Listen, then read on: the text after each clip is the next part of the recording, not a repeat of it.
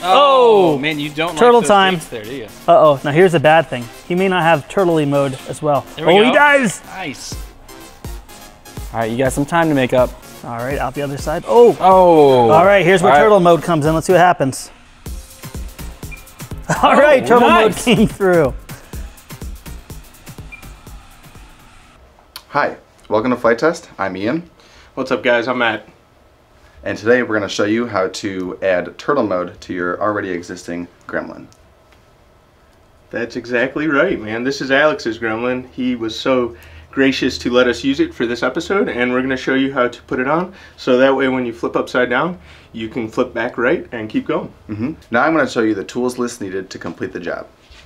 Solder and a soldering iron, wire snips, wire to extend your ESC signal, and a battery, a laptop, and a USB cable. I don't know about you, but I crash a lot, and I definitely have to get back upright and get going. And I'm kind of lazy, where I don't want to go back out and get it. Mm-hmm. So this should be good to, to fix that, right? Well, let's just say you're never going to have to retrieve your quad again. Nice, nice. That's my kind of thinking. Gotcha. Yeah, all right, good, good. Let's get to it. Yeah, let's get into the fun stuff. The stuff we do all day long. We uh, build quads, repair them for you guys out there. So Ian's going to show you how to do this small. It's not a repair; it's an upgrade to your quad. That way you can uh, get turtle on your own. hmm And this is something that anybody um, at home can do. Um, the soldering uh, can be a little bit small, but um, we recommend just doing a little bit of practice. You know, get some um, bare wires or some some bare boards that you can just practice tinning with, and um, practice makes perfect. So that's And obviously going to help. Another thing, if you guys got a magnifying glass or even like a work light, something like that, to lighten up your workstation or uh, zoom in on your the thing you're soldering on, that's going to be a good uh, good idea because the pads are kind of small. Correct. Yep. So we're gonna get started here, and uh, what? Take the top plate off. Yep. First step will be to start disassembling our gremlin. Okay, cool. And these screws are pretty small. If you guys notice, you might need a smaller screwdriver, or even sometimes I think Ian likes to use a flathead. I do as well. Mm-hmm.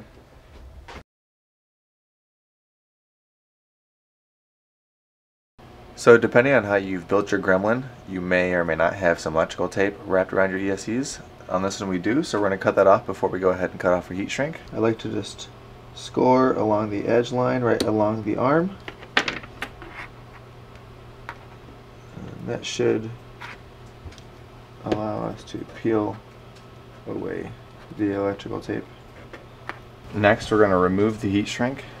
What I like to do is just score along the edge line of the ESC, and then I hit it with some heat, and it'll expand the hole, allow us to tear it open.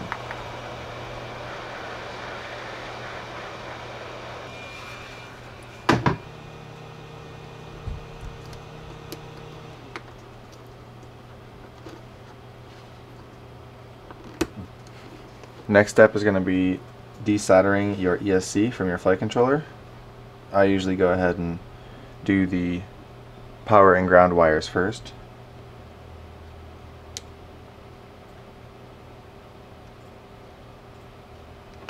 And next we're going to prep our wire that we're going to extend over here to our PPM pad on our flight controller, which is right next to our 5 volt for our camera.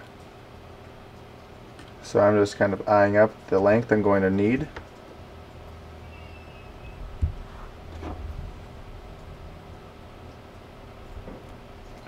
We're going to trim it.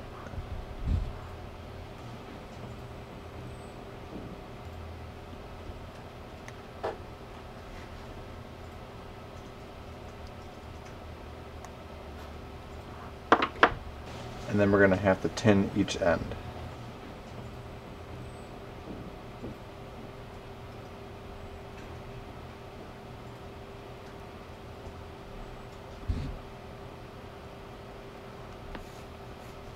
Now that our wire is ready, we're going to go ahead and remove the old wire. Keep in mind, depending on how long you've left your ESC signal wires, you may not have to extend this. You may just be able to solder it over to the PPM pad. In our case, we do have to do an extension because we trimmed them short the first time. what I like to do is have the pads on the ESC nicely pre-tinned with some fresh solder.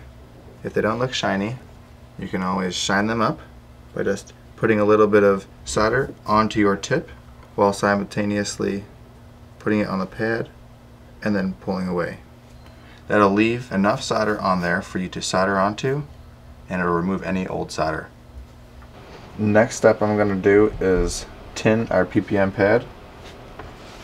I like to bend the wire in ways that'll make it easier for me to solder it onto the board.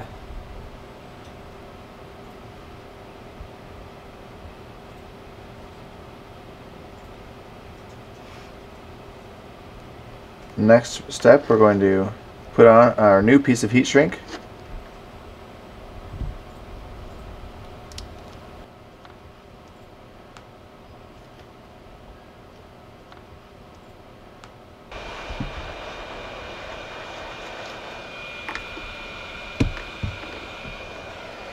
and be sure to get both sides.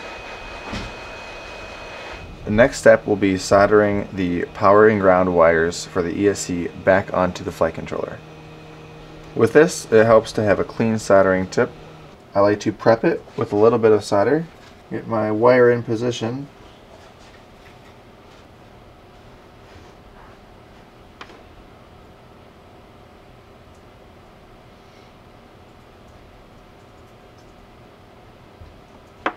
Next process will be to solder our wire onto our PPM pad.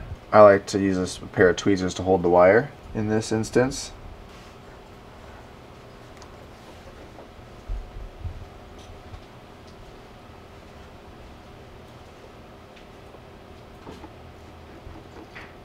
Alright. Now we're just going to rewrap our ESC with some electrical tape Put the top plate back on and we'll be good to go. Now the next part we're going to do is Betaflight. Um, little side note on Betaflight though before we get that part started is we're going to be using the Chrome app um, but that's not going to be available for, you can't even download it anymore I don't think. Mm -hmm. Google is going to be stopping their Chrome app web store. Uh, so what Betaflight went ahead and did was they uh, developed their own standalone configurator at 10.0. Uh, we'll put a link in the description below. That way you guys can find it if you do want to go ahead and do turtle mode. Mm -hmm. Same thing with the uh, BLHeli configurator as well. Um, today we're going to be using the BLHeli configurator um, app that you can get from the web store. Um, but like we said, if you don't actually already have that uh, downloaded on your computer, um, you will be able, we will put a link in the description below for you to be able to go online and find the standalone BLHeli suite that will work just the same for you. Correct. All right, let's plug that little guy in and uh, get her going on the, the laptop here. Alrighty. Now, the first thing you're going to do is go into CLI and uh, change the motor 4, the resource motor 4? Correct. Okay. So we're going to go into CLI. And then uh, there's a couple different ways you can get it. Uh, Ian's going to type resource, enter, and that's going to bring up all the things you uh, you can resource. So you're going to see motor 1, motor 2, 3, so on and so forth. So what all he's going to do is copy uh, motor 4, resource motor 4, copy that uh, he's going to paste it in the command bar and then he's going to actually take out the A003 I think it is right mm -hmm. now and you're going to replace that with the A15 which just means you're going to redirect the information to a different pad. And what that's doing is redirecting it to the PPM pad which we soldered to which is going to be able to output our digital signal for our D-Shot commands. Okay, and then what's it saying right there? It's just telling us that we have a couple notes um, it's saying that uh, A15's already been set to some PPM and serial RX and an ESC serial signal, which is quite alright. It's just giving us some information of other things that it's been resourced to. Um, it's not going to hinder the performance or affect how it flies at all. Yeah. Continue on. Uh, but since we're not using PPM, uh, any of that, we're going to go ahead and just use that pad for the digital signal for D-Shot. Correct. And then you're going to save. Always save. Always save. And then it's going to reboot for you. A couple other options while Ian's rebooting. You can also put in dump in the CLI. That's going to give you all your options, more than just resourcing options. Um, and then if you scroll through there, you'll also find this. Or you could just type in resource motor, motor 4 equals A15 and then you can hit enter and save also. Um, but the easiest way we like to do is just type in resource, copy it. That way everything's uh, correct on that. And one more CLI command that we're going to have to do if you like to use your accelerometer uh, for running angle mode or horizon mode, things like that, um, we're going to have to set your small angle, which is an arming limitation angle. So basically we're going to have to change the window from about 5 to 10 degrees to 180 degrees to allow us to be able to arm while we're upside down. So once again, this, we'll go into the CLI. And that's only if you do still use Correct. level mode. If you're uh, if you're a little bit more advanced or you've been flying for a while and you only fly in acro And you disabled your and you accelerometer. disabled your accelerometer, which a lot of us do, um, as long as the accelerometer is off, you don't have to do that. But most people do have auto level still, so we're gonna set the small angle to 180 uh, Mhm. in this case. And then uh, that command is going to be as follows. We're going to type in set space small underscore angle space equals space 180. And you can also find that in the dump too if you scroll through there. Correct. Once again, making sure that we always type save and enter. Now we can go ahead and go into our configuration here and adjust our ESC motor protocol to DSHOT 600. Also remembering to save and reboot. And D shot's just the digital uh, signal, the, the firmware digital fir- firmware protocol. We would also like to go into our receiver tab and we're going to double check to make sure that all of our channels are corresponding with our remote properly. Forward is forward, back is back, right is right, and left is left. Then we can go ahead and start assigning our switches to the auxiliary channels that we're going to need. For our gremlin today, we're going to be assigning our turtle mode switch on switch A back here. And we're going to put that in the up position because up is up. Nice. I like that. Nice little trick. So we're going to have to set up the mode switch for our turtle mode. We're going to go into the modes tab, scroll down until we see a tab that says flip over after crash. Now, if we Turtle don't, mode. now if we don't see that in the mode, is there something wrong, or what Yes, is what? if if you haven't gone into configuration and changed your ESC protocol from one shot or multi shot to D shot, it will not display flip over after crash option. You have to be ha- you have to have D shot enabled for it to appear. gotcha.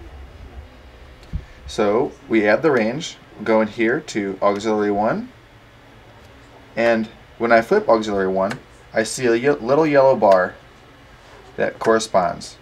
What I'd like to do is flip it in the on position, take our slider here, and move it into the window of our range. I like to trim it down a little bit and leave a little bit of extra space on either side. So that way, if there's any trimming or any um, movement or play in the uh, signal that the switch is sending, it'll still be within the range. Cool. Also, Save. remembering to save. Always, Mhm. always save. And then it turned to yellow, so that just means it's working now. Correct. Okay. Um, when you see anything yellow in the modes tabs, that is usually a sign that it is currently active. So, if we disarm our turtle mode, we'll be able to come back and see that it is not not active anymore. Okay. And as we flip the switch, it turns on and Cool. off. So we know it works before even going out to the field or anything. Correct. Nice. So now we can go ahead and update our ESCs. Now we're gonna go into BL Heli, the app store. It's- Correct. since we still have it, we're gonna use it. Uh, It's unfortunate they're getting rid of that. It was an easy way to do it. Um, but BL Heli Suite is also like like Ian said earlier. Link in the description. You'll be able to download that. It's a little older of a standalone program, but it still works great. You can still Yes. flash stuff. Um, so we're gonna actually go into that so we can update our ESCs now. Um, this is the part where you want to make sure your propellers are off. Uh, whenever plugging in the quad into uh, a computer, I always take mine off. But whenever you plug a quad in with your battery, that's when the motors can spin up. So you always want to make sure that they're off. Um, just it's good to just take them off anytime you plug into your, your computer because you never know a computer could take over your aircraft and it can go haywire. Um, so Ian's gonna do that now. He's plugging in the battery. Uh, he's gonna hit connect on BL Heli. And we are connected via USB to our laptop. And we're going to go ahead and want to read, Read the setup. setup. Cool. Now you should have four ESCs um, should pop up. If you don't have four, there's going to be a process you either missed, a step uh, you overlooked, or uh, there could be a problem with your ESC itself. You want to make sure you have four that show up in BL Heli. Correct. You want to make sure that um, you follow the processes and in the order that we're doing them as well. Yep. So now we'll go around here to flash all. Now there's two tabs, two drop down bars. One is the ESC, and that's just telling us the type of ESC that it is sensed. The BL Heli configurator, along with the BL Heli suite, are auto sensing, so you don't have to choose the version when you read the setup. If you change the version, it may alter the performance of the ESC or possibly brick the ESC, Yeah, the- causing future damage. The first one, yeah, I, I never touch it. It mm-hmm. usually it, it does a good job sensing it on its own. Right. So just leave it alone. You don't want to mess with that at all or damage your components or Correct. anything like that. Now what we will go into is version here, which we need to select the version that we would like to be on. And to get the turtle mode to work, we will need to be on 16.67 or newer. So we will choose the 16.7 because it is the official release and it is stable. I always like the latest and greatest. Anyway, Correct. So I agree. We'll go ahead and flash. And the cool thing about this is it will go ahead and flash each ESC individually.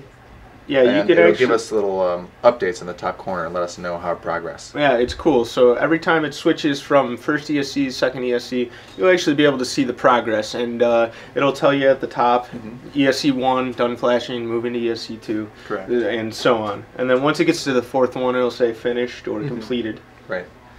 And um, while we're letting that go ahead, I'm going to go here to the c- common parameters for our ESCs.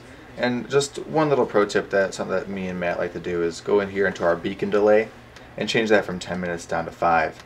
What seems to happen is when you lose your quad, something small like this, especially out in the field, and you want to take off your goggles and go ahead and go look for it, a lot of times it seems about 5 to 6 minutes that we start to give up if we haven't found our quad. So it's very rarely that we're actually out there for a full 10 minutes waiting. So if we can shorten that amount of time that our quad takes to start to chirp to us, we'll be able to hear it and find it easier. Yep. Now that our ESC flashing has been completed and it says finished in green, we can tell that it was a successful flash. Um, now that we've adjusted our beacon delay parameters from 10 minutes to 5, we're going to go down here to write setup. Writing our setup is basically like saving our setup. Cool. Always save. Correct.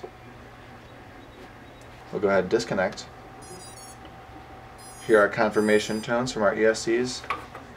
Go and then go ahead and unplug our battery, Nice. unplug from our computer, and now we can test it out. now we can do some real world testing. Correct.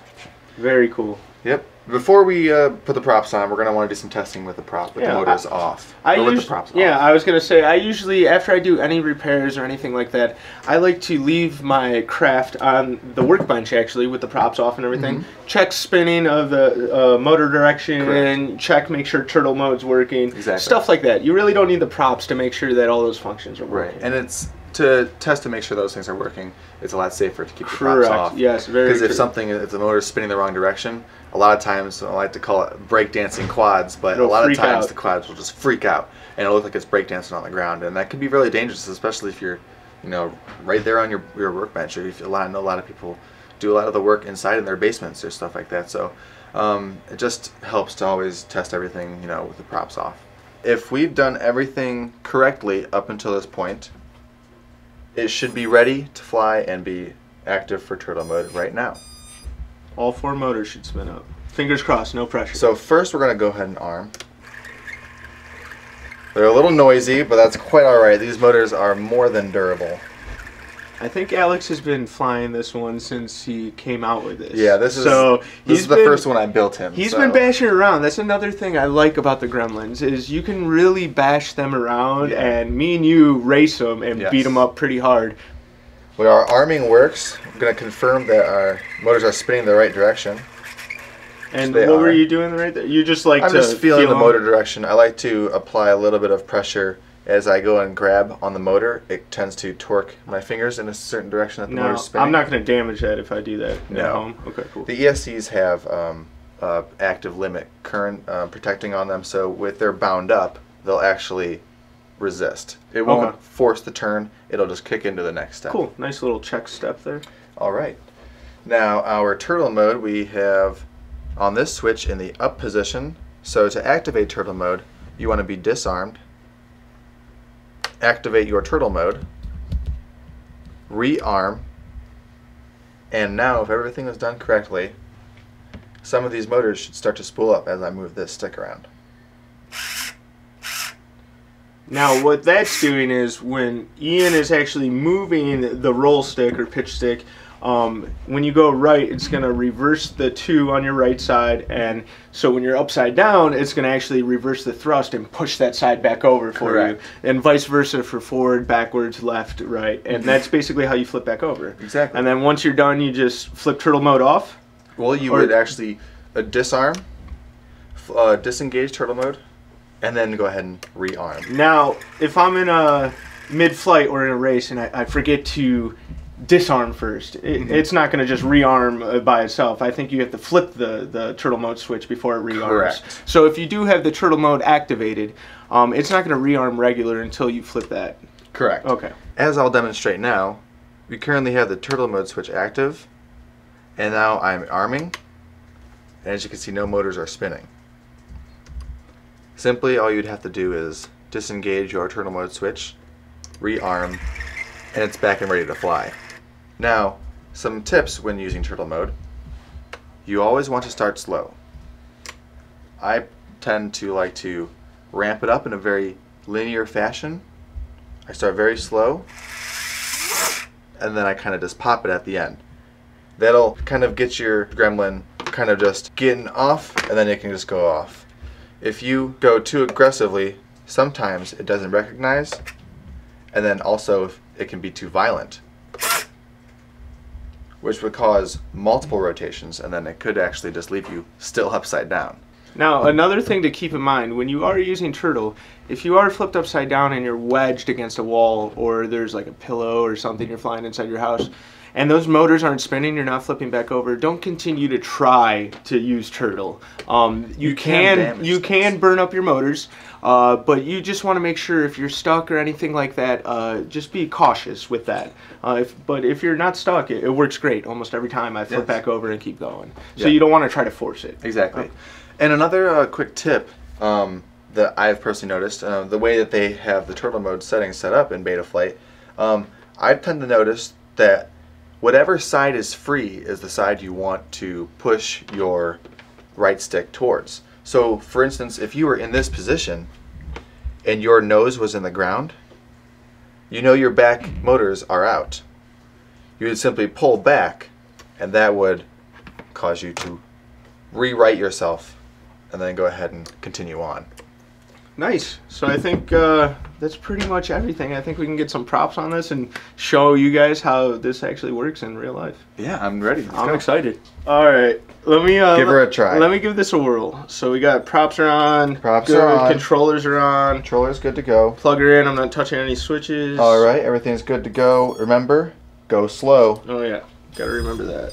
It's a little bit harder line of sight. In the goggles, if you're flying an FPV, you, you're gonna be able to tell if your left's up, your right's up. So I'm gonna give this a whirl though. We're gonna do our turtle mode switch. We're gonna arm, and it looks like the left side's a little bit higher to me if I'm correct, right? Yep. Okay. I agree. Now we're going to let's go slow. See, there's the slow. I'm gonna. There it go. First time, man. That little blip And then the we- just pushes her over. disarm. And right there, like I was talking about, Mm-hmm. I had it armed, but it didn't arm. Correct. So I disarm turtle, I rearm, and now we can move around just like normal.